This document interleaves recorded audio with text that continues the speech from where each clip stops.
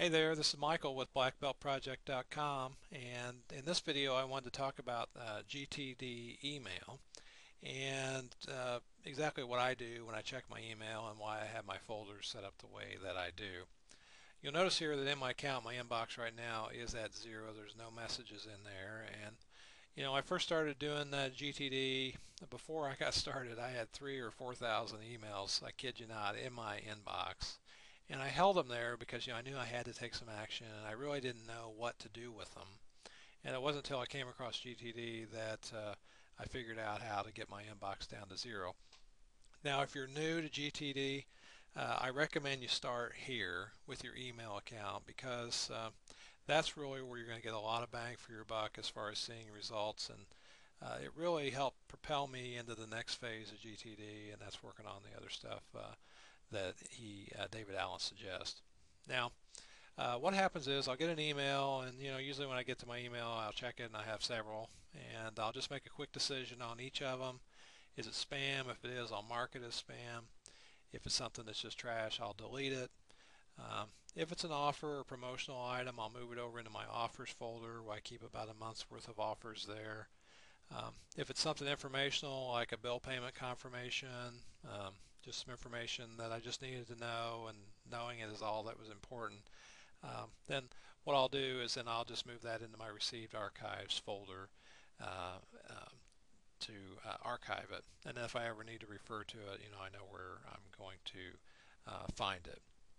That'll leave me with items that I can either do real quickly or move to uh, my action items folder. And um, so typically, you know, as far as the two minute rule is concerned, if it's something I can do really quickly, I just, you know, use the guideline. If I can just get it done quick, then I, I do it. A quick reply, um, you know. Uh, otherwise, if it's going to take some thought, then I move it to my action items folder. And then this is just another separate inbox. After I do that, then I'll check, this will get down to zero, and I'll check my spam folder because there are times when email arrives that it goes in here and I'll just scan that for anything and then uh, move it to my inbox by marking it as, you know, if you notice in my spam folder here, I got a place to mark it as not spam.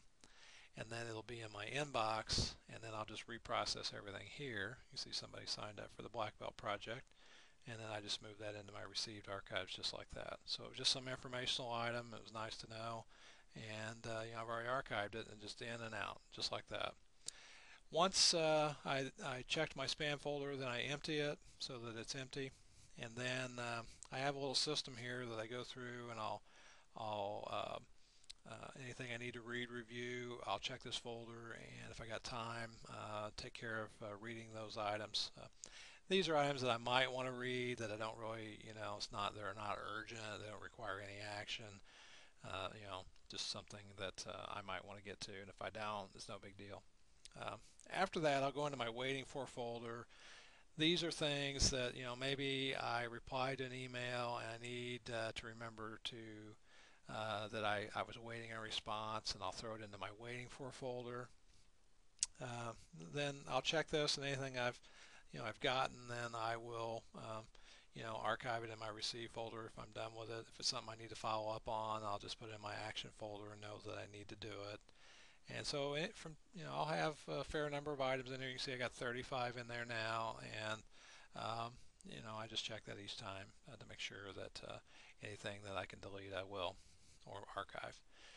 You can see here I got a Yahoo Reminders folder, and in the background you can see I got my calendar. And uh, if you've uh, read or listened to any of my stuff, you'll know that uh, I use my calendar uh, probably a, a lot more than most people and that's because I put anything that's day specific on the calendar and also anything that I need to be reminded of goes in there. And as a standard practice I use a two-day email reminder.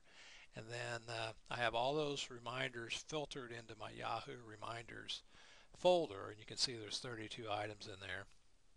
Now I might get 15 16 you know a day. Uh, a lot of things uh, that can be done after a certain day uh, you know, things like, oh, change the air filter in the furnace. I want to do that every month, so I just have a reminder that tells me, hey, you need to do that. And then when I do it, then I just delete that item.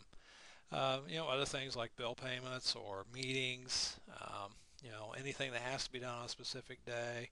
Uh, I also have the calendar send me a daily summary of what I, I got on the calendar that day and I review that make sure everything that has to be done gets done.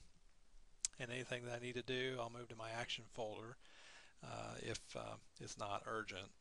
Uh, it can just be done after a certain day. Then I'll put it in my action folder. If something has to be done, I do it right from there. Then my action folder, then uh, you can see I got five messages in there.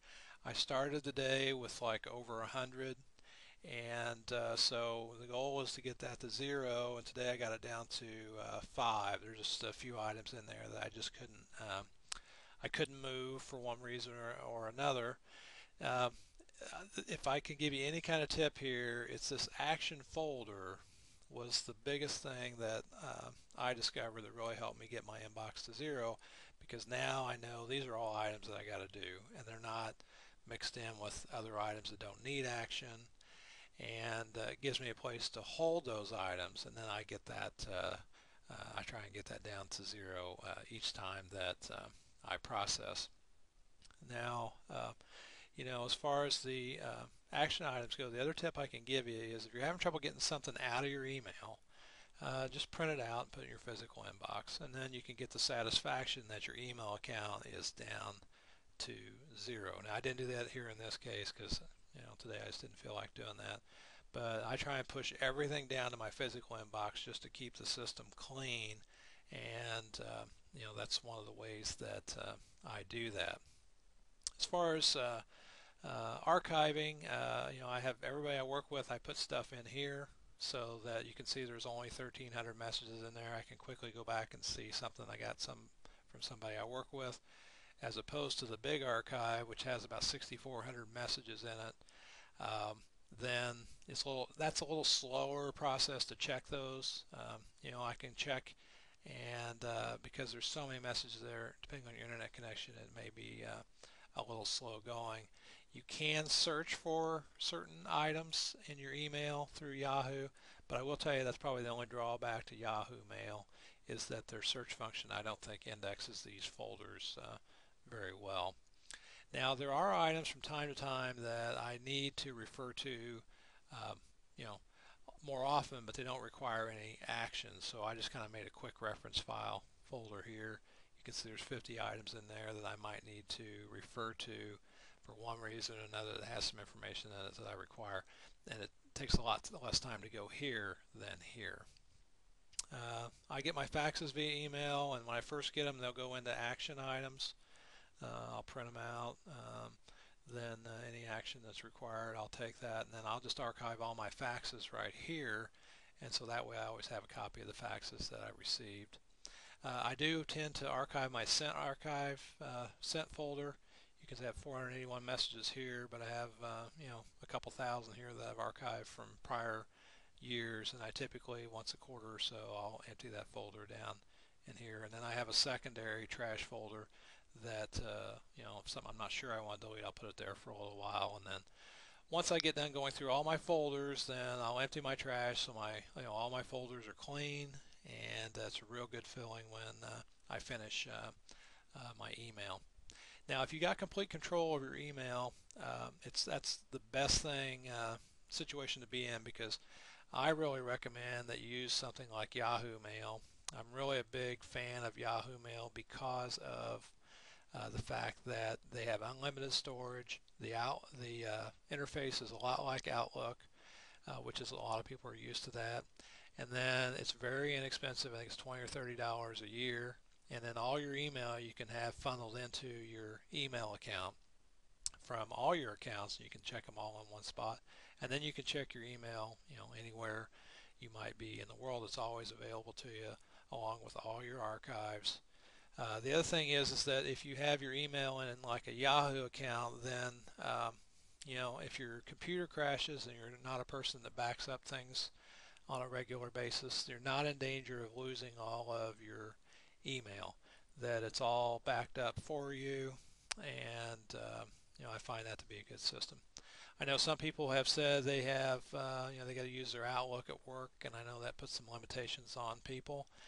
And so you're just going to have to create some workarounds that work for you. Um, this is uh, the system that I've developed and I can control my email as I see fit. So anyway, that's how I process my email. Um, the biggest tip's probably the section items folder.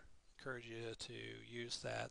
Uh, if you create a checklist of how to check your email each time, the number one thing people have trouble with is you know is checking that action items folder. They tend to forget they put items in there, and if you just make it part of your process to go in there and look by using a checklist to remind you, that will um, help out a lot there. So anyway, visit blackbeltproject.com. Hope the, the video was helpful. And you got any questions, be sure and uh, let me know.